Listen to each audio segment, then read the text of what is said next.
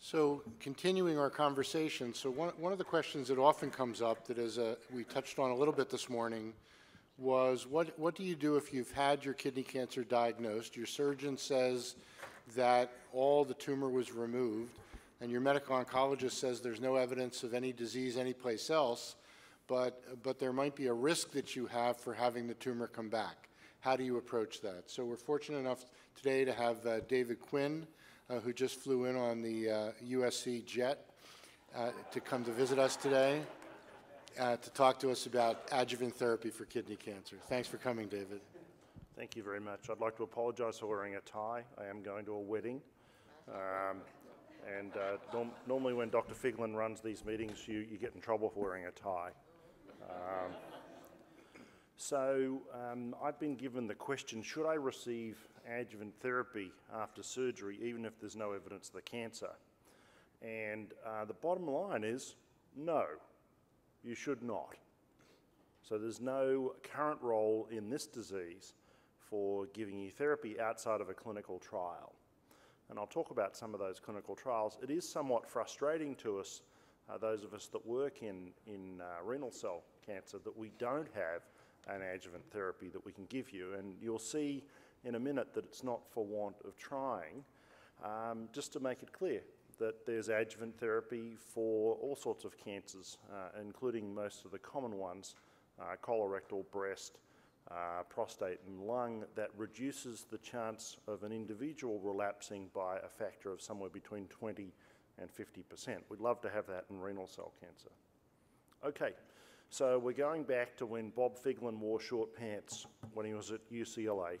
Um, and he wore short pants, I think because he could walk to the campus or something. But uh, this was work that, that, uh, that he did as, as part of the UCLA renal cancer spore uh, in what was a, in fact, a golden age uh, of things that we learned about clinical uh, kidney cancer.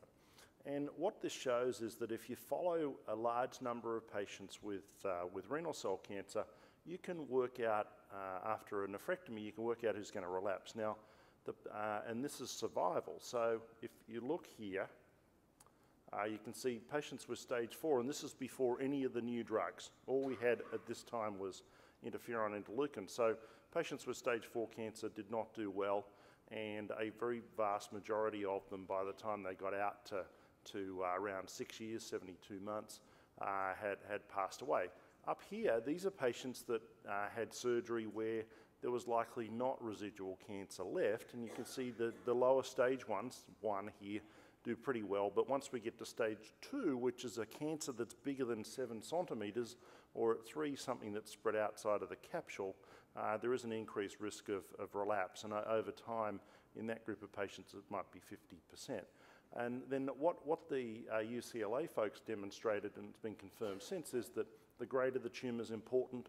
Also, necrosis uh, within the cancer is important from the pathologist, and the performance status of the patient is also important. So patients with a performance status of zero have no symptoms after they recover from their surgery. The ones that actually have a greater than zero uh, don't, don't do quite as well. So this is all quite logical, and there have been a number of attempts to put this together to work out what the risk is of a relapse after surgery. Now, the surgeons come out and they say to the family member, what? We got it all. Okay? Okay, we got it all. Okay, very good. And, and they don't always say that, but actually most of the time. And the thing is, it's a time of great anxiety for family and patient, and we're not going to know for several days what the pathologist thinks. Um, and so, from that perspective, it's difficult to work out. And the surgeon is actually usually telling the truth. They're not actively lying. Uh, they did get it all out, and they're usually able to get the margins clear and all that sort of stuff. Um, but when we look at trying to predict survival of patients, we'd like to work out who's got a high risk of relapse if we're going to give them adjuvant therapy. If your risk is zero of relapsing or less than 10%, which is pretty much the same, you're not likely to benefit something, from something that will reduce your risk by 20 to 50%. Whereas if your risk is 100%, then you may be willing to try anything. The truth is somewhere in the middle, and that's what I tell most patients uh, with whom we have this sort of discussion. And at the moment in the clinic, we don't tend to use this nomogram uh, regularly uh, uh, unless we're, we're trying to enrol someone in a clinical trial um, and we use it for balancing the arms. And I'll come to why we need arms in just a second. Why would anyone take a placebo? Anyone here? Would anyone like to take a placebo today? Okay, so you had placebo turkey at lunch. Okay. You didn't know it, but it was placebo turkey, I'm sure you felt much better. So we don't do many placebo trials anymore. It's because we have agents that make a difference. And we have been doing placebo trials up until, in fact, last year in prostate cancer, where I now have five or six new drugs to treat patients. I don't cure anyone with those drugs, but I can control their disease. And the issue was that we were comparing it to the standard of care, which was nothing. So in that setting, it's reasonable to have a placebo control trial, and in actual fact, to prove that the drug works, we need to do that. Um, and so that's kind of where we are with our adjuvant studies. Now, the first large adjuvant study was this study run by ECOG, and it was called ASSURE, um, and that's an abbreviation for putting the two drugs that we had, which were the first ones that uh, Dr. Figlin helped develop in this disease, which are sunitinib, also called Sutent, sorafenib, called Nexavar. And at the time this trial was, was designed, these, these agents had just shown promise uh, in trials, and so we thought, well, why don't we give them to people after uh, surgery? And there were some eligibility criteria as for any trials. You can see we selected patients that were high risk. They had to have a PT2, which means the tumour larger than seven centimetres or having spread outside the gland and having had lymph nodes involved and resected at surgery. You could have either of those. And the patients had to be well and not have other major problems. We also picked um, clear cell, but also allowed other variants to go in. Now, in this study, the original design were three arms, sunitinib, sorafenib, and placebo. So we had to blind everybody which was complicated, and I won't get into it. But we started with this estimate of the number of patients 1,332, and we ended up with 1,900. Now, we all like to do big trials to get power, but unfortunately, when you see this reassessment of statistics here with an increase in the number, it means we got it wrong. And the reason we got it wrong was that we knew that patients getting these drugs would have side effects. But the patients in the adjuvant setting who'd had a nephrectomy, had their, their renal tumour removed uh, with their kidney, um, actually got more side effects than we had anticipated. More than we saw with patients with metastatic disease. Now, we postulated this, and I think we sat in what uh, in meetings and said, "Do we think these people are just neurotic? Are they imagining their side effects?" Now, I've got to reassure you, that didn't last very long because we said, "Look, we know what the side effects are. If someone's got a rash on their hands, they either have it or they don't, and we're actually pretty good at picking that up and they can't fake it. So patients in this setting did seem to have slightly more side effects, both objectively and also subjectively. And so uh, the fatigue that we saw with the drugs in some patients was much worse and was a problem very early on, so we had a very high dropout rate. It was about 25, 30%, which is about double what we see in patients uh, that are in metastatic trials treated over a similar period of time. So it, it was a problem. Um, what was the end point that we were looking for? Well, these are abbreviations. Overall survival, time to progression, in other words, time to the cancer coming back, and uh, we were looking at quality of life. Sometimes we call this patient-reported outcomes, which is actually important because you want to balance the side effect or other uh, toxicities uh, with, with, uh, with what could be a potential benefit from the therapy you're giving. Now, I put the SORCE trial in because it's running in the United Kingdom and because it was designed with a slightly different aim. So SORCE takes Nexavar or sorafenib and gives it for either three years or one year. So three years here, placebo three years, one year of sorafenib and then placebo, to see whether there's a difference in the length of time in terms of outcome. And this trial is accrued and completed in the United Kingdom. We don't really have results from the, the, uh, the primary outcomes that I can present to you at this stage. I'll present to you a trial in a minute uh, where there is an outcome, uh, which I think is interesting, but, but unfortunately doesn't take us forward in terms of giving us a therapy. So this is a, a, an extended tabulated summary of the different trials that we've, we've been doing. And I'm not going to go through all of them, but to say that we've been trying to get this sorted out for more than 20 years. And so the trials at the top here are, are very old trials where we gave radiation therapy versus observation. Uh, a hormonal agent called medroxyprogesterone acetate, uh, which is similar to Megace that we give for appetite stimulant. It's a progestin. Uh, these these uh, trials showed no difference. We tried uh, giving a tumour with BCG, no difference. We tried giving interferon and uh, in a smaller trial, high dose interleukin 2, and showed no difference. Whilst these were not statistically significantly different, this trial here with interferon, led by Ed Messing, uh, who's now in upstate New York, is important because you'll see here that the overall survival was 5.1 years versus 7.4 years. It's a couple of years, it's quite a lot. But the bad news was that the patients that got given interferon, which was meant to be active, uh, versus those that were observed and got no treatment, actually lived 5.1 years on average compared to 7.4 years. Now, why is that important? Does it discourage you from going on trials? I hope not. But the issue is that we have placebo arms for this reason. We cannot necessarily conclude that because a drug works in the advanced setting for metastatic disease and extends survival, that uh, there's actually going to be the same thing seen in the adjuvant setting.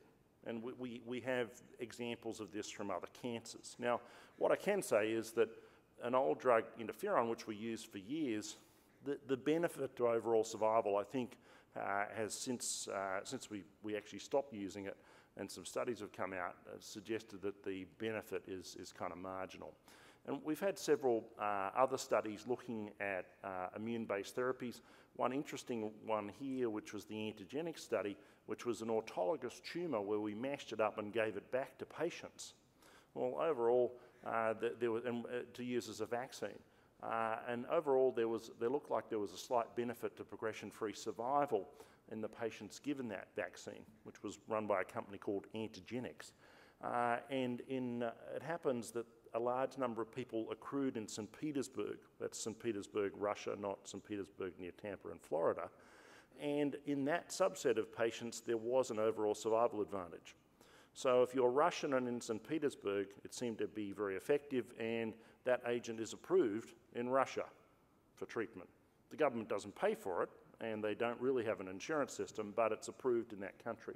So there was a suggestion that this immune effect um, would, would potentially be useful in patients that had had a nephrectomy uh, for, for their, their cancer. And uh, Dr. Figlin is actually leading a study where we're trying to do a similar thing in advanced disease in combination with uh, sunitinib, which I think is a very, very, very good uh, uh concept. And, and then uh, further, we looked at, at, at, other immune therapies down here. I'm going to talk about this one in just a minute. It was presented by Dr. Belldegrun last year, and I think it's interesting. So the other thing about adjuvant trials is we have to follow people for a long time and we end up doing CT scans on them. These are the CT scans per year. We usually start out with two or three, um, and, and, we reduce that over time so that after five years you're getting a scan once a year. And uh, from that perspective, it's an undertaking to follow these patients. I'll just go through the different studies that, because you, may see them reported. Uh, in ASSURE, we're starting to get toxicity data from the, the treatment of uh, sunitinib or sorafenib for 52 weeks. Uh, S-TRAC was a French study that looked at sunitinib um, or Sutent uh, in a higher risk population, and we hopefully will have results from that in the next year. Uh, the PROTECT study is just closed. This is with a drug called pazopanib or Votrient. Uh, the EVEREST study is ongoing, running through the Southwest Oncology Group with everolimus, an mTOR inhibitor, and there may be some reasons why an mTOR inhibitor might be better in the adjuvant setting than the other drugs that impact VEGF, but I, I won't get into that unless people are interested. Uh, the SORCE study is closed, I mentioned that, and then a study that uh, has predominantly been conducted overseas but we'll open at a few centres here in the US called the ATLAS study with one of the newer VEGF drugs, uh, axitinib, given for three years.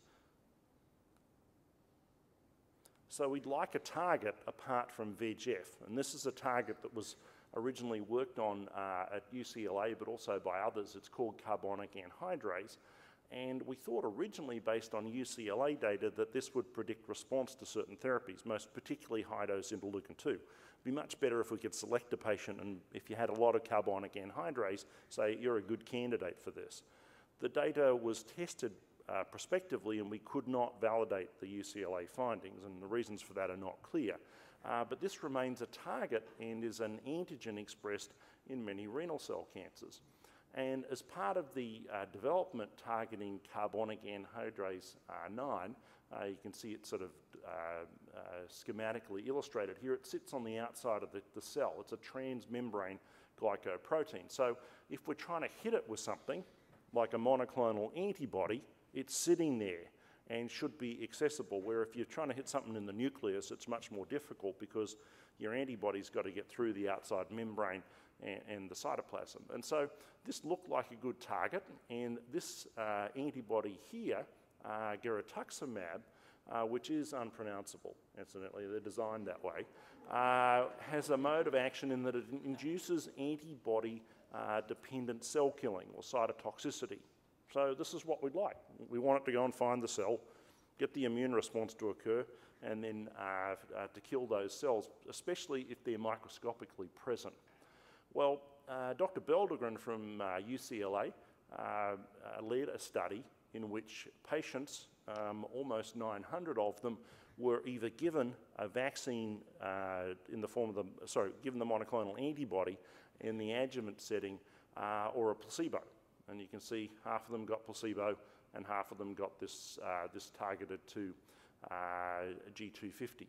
And you can see here that there's not a great deal of difference between the two curves. They overlap, and statistically they are not different. So it was a negative study.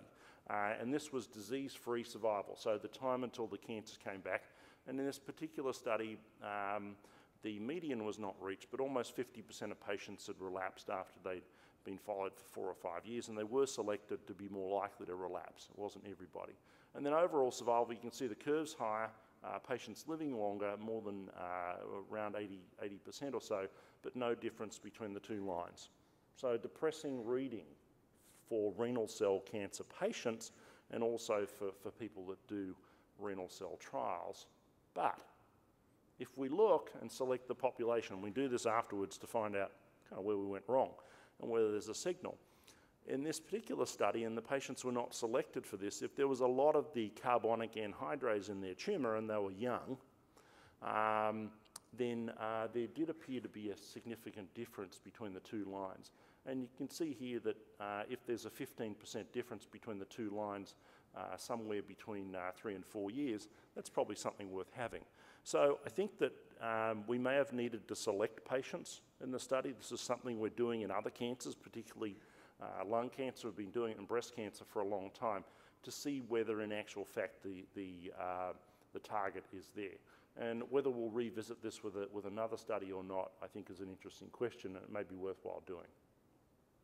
Okay, just briefly, because uh, I don't want to go over time, because that produces big trouble from Dr. Figlin. I want to talk about neoadjuvant. I know that uh, there may have been a little bit of discussion, but this is a question I get a lot. Should I have some targeted therapy with sunitinib or pazopanib or something similar before, before surgery to try and make the nephrectomy easier uh, or to make me a candidate so I can have my kidney removed? And generally, um, uh, we, have done a number of these studies, and this is not standard. Uh, and I'll show you a little summary of this. And what we're trying to do here is to downstage the, um, the tumour so that we can make it resectable. For a surgeon, resectability or operability is in the eye of the beholder, so it will depend on the ability of your particular surgeon. And before this is assessed, you need to be at a centre that does a, a good volume uh, of, of, these surgeries because uh, resectability at a small centre is going to be different, and you're more likely to have a surgeon that says, I can take that out uh, when they're doing a lot of volume. There are some examples where we do do neoadjuvant therapy. And this is a patient who's lost their other kidney. Um, in fact, it was to trauma and it was reported in, in a journal called uh, Clinical GU Cancer. And you can see here that uh, the, the surgery would involve removing the whole kidney because we can't just take this little bit out. As it happens, they gave the patient some targeted therapy, it shrank, and they're able to do a partial nephrectomy. Why? well, we don't want the patient to lose their other kidney and have to go onto dialysis unless it's totally necessary. And we know that um, in the absence of metastatic disease, uh, the, the outcomes from partial nephrectomy are generally similar uh, to a total one. And this one had, this patient had some follow-up. That's actually relatively unusual, uh, but it is an indication for potentially doing this. And just quickly, the studies that we've done in this area have been led by uh, Cleveland Clinic and uh, MD Anderson predominantly. Uh, also, one study done in, in London led by Barts. And the issue with giving these drugs before surgery, the thing we worry about, and you can see here, there was a 17% wound healing, bleeding, and renal failure complication rate, uh, and also some issues in the MD Anderson study with or without a pill called erlotinib, where they, they had problems. So this is not a standard, and at this point in time, we do not have phase three studies going forward. Uh, generally, uh, if you're going to benefit from the operation, uh, it should be uh, proceeded with uh, before you start therapy, and it can be revisited in selected uh, instances. So just to summarize on, on perioperative therapy, be, therapy before or after nephrectomy is not a standard of care at this time, and we have some phase three studies. If, if you want to look at this therapy, especially after surgery, uh, if you're higher risk, you should uh, actually try and get onto a phase three study, which will entail some sort of placebo or observation arm. Um, and then in the neoadjuvant area, I think it needs to be done selectively in, uh, in specialised centres that have surgical and also oncological expertise. And that's, that's it from me, and I'll take questions if Dr. Figlin will allow. Thank you.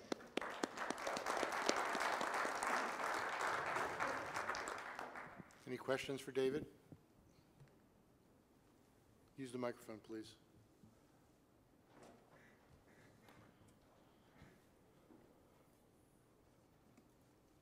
Um, according to the chart you shown us, um, the looks like a night, the ninth year is the cut off the year for no relapse.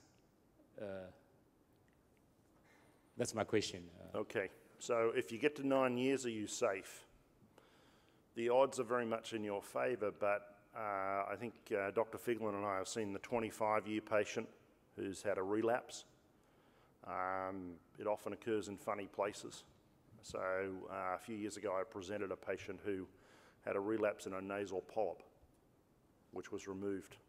And that was, I think, six or seven years ago, that was removed. The patient's not had further disease. So the odds go down the further you go out, uh, but it never gets to zero. Should you have a CT scan every year? Well, generally after 10 years, I discourage people from doing CT scans. Um, and ideally after five years, I try and switch to chest x-ray. And there are no specific guidelines for following people after they've had an nephrectomy, but we tend to temper it by risk. So look, if you're at nine years, uh, you, you, you, know, you, you, you're probably beyond the disease, uh, but no one can give you a total assurance. So if you get a nasal polyp or, or something fun, some lump in the skin, you need to tell the, the doc who's looking at it, uh, look, I had renal cell cancer back in, you know, 1990. Uh, um, and um, patients that get late relapse often actually respond quite well to therapy if they need it.